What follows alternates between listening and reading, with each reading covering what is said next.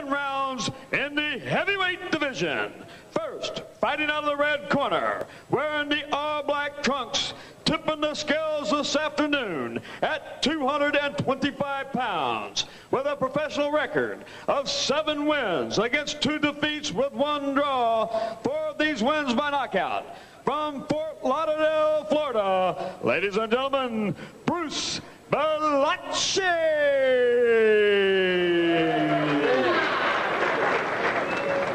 His opponent fighting out of the blue corner. This young man tipped the scales today at a trim and ready 229 pounds. Wearing the black trunks with white stripe with a professional record of 21 big wins against no defeats, 17 of those wins by knockout.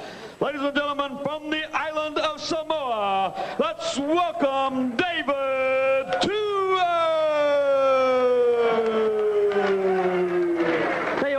There you David Tua, unbeaten in 21 professional contests, which has got him a ranking of number 41 in the IWBR rankings. I'm afraid Bellucci, Bellucci is down at number 239. So things don't augur too well for him. He's won seven, lost two, drawn one. Now, told the story of David Tua's history in the past. He used to work in his dad's uh, grocery shop, and his old man was really keen that uh, David should box, and he got people off the street to spar with him. If David didn't win, his father would give him a spank as well. He's only 11 at the time, and it looks like it stood him in pretty good stead. Now, one thing you should know immediately is that these two have fought before. It was at the start of last year, and I'm afraid Bellucci only lasted, well, he lasted less than a round.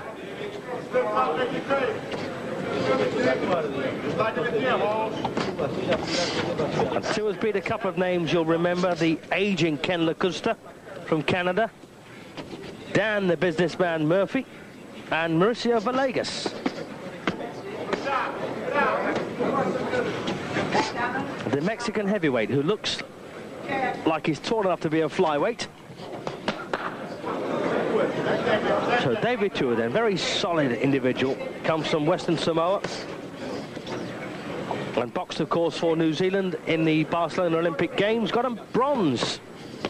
And uh, that must be the first medal for Western Samoa at any event in their history. They moved, in fact, uh, over to Auckland in New Zealand thereafter. And his dad was a former middleweight. I don't think he was a pro, though. Nice work there by Tua. And, of course, he can really, really relax here against uh, Bellucci. Having beaten him once before.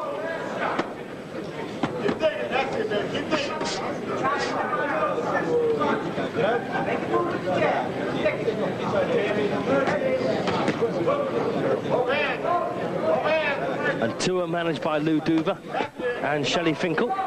And another trained by uh, George Benton, himself a top-class middleweight of the 60s.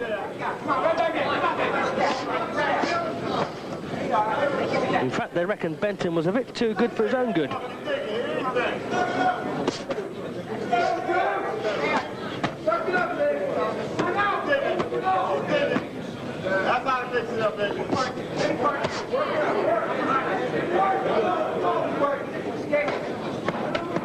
Bellucci, originally from Queens in New York, now boxing out of Fort Lauderdale, and uh, I'm afraid losing the first round.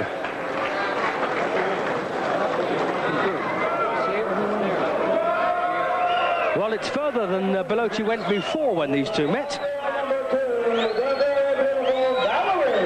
And for Tua, it was three fights ago, but this is the first outing for Bellucci since that first round loss to David Tua as we come up for round two.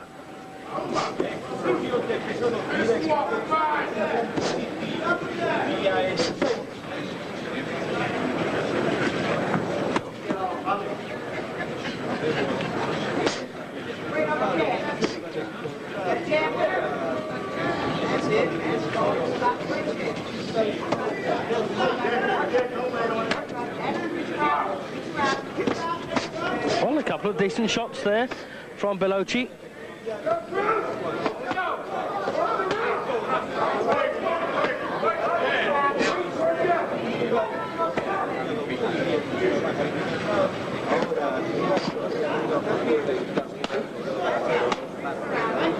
Well, these are good body punches by Tua.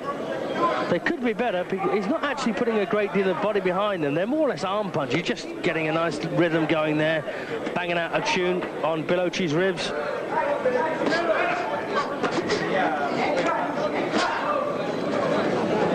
Well, they've hurt Bellotti, that's for absolutely sure. He's bending over now.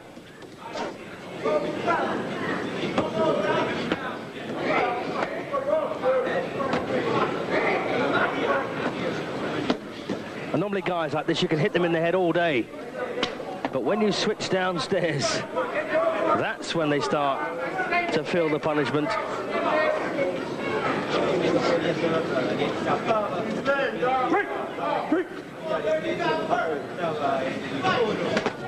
Big left hook from Tua.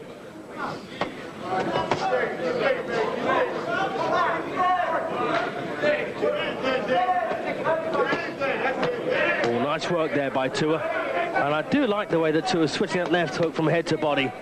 Beautiful and fast. Of course, there's a lot of guys who not even get in with it. And plenty who will hit him back when he tries anything. But at the moment, at this level anyway, he looks very good, doesn't he? In fact, oh, well, it looks like Bellotti's had one body punch too many. Stay down, Bruce. Well, he's up at eight.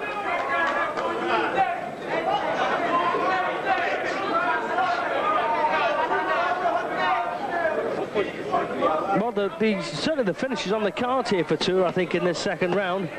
Boom, that's it. That'll do, surely. Yes, the referee's, in fact, waved it off immediately. And that time was a left hook to the chin that put him over.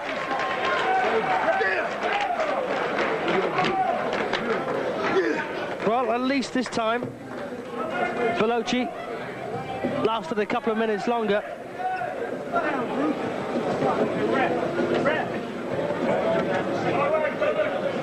Watch that again.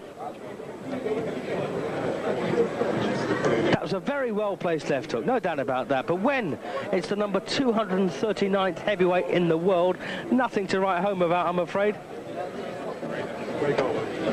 It's a win. And it's win number 22. Two minutes and 39 seconds of the second round. The winner by technical knockout, David Tua. So David Tua then declared the winner 22 on the spin, 18 inside the distance. And we've still got tonight's main event to come. And it's the IBF Intercontinental Heavyweight Championship. So the big boys once